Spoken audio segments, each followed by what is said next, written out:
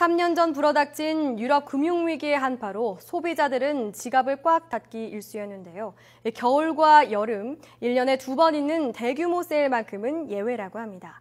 필요한 물건들을 세일 기간을 기다려 사들이는 알뜰한 이탈리아 소비자들을 최기송 리포터가 소개합니다. 토리노시의 명동격인 가리발디 거리.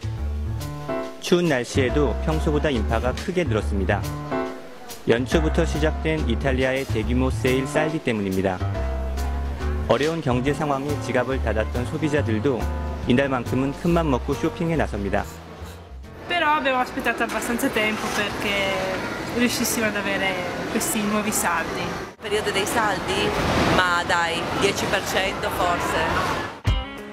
상점들은 최고 80%까지 파격적인 할인까지 제시하며 손님 모으기에 바쁩니다. 더 깎을 것이 없다는 뜻에서 쇼윈도 마네킹에 내복만 입히거나 아예 하나도 걸치지 않도록 하는 곳도 있습니다. 오랜 불황으로 부심하던 상인들의 재치 있는 유머입니다. Stiamo cercando di valutare varie, varie opzioni, magari a volte anticipare anche eventualmente i saldi come è successo quest'anno, ovviamente, sperando in meglio. 3년 전 유럽 금융위기 이후 이탈리아 사람들의 소비 심리는 급격히 얼어붙었습니다. 평소에는 쇼핑을 자제하는 대신 세일 기간이나 할인점을 이용하는 알뜰 소비자가 늘고 있습니다. 한 해 소비의 70에서 80%가 세일 기간에 몰리는 것은 이 때문입니다.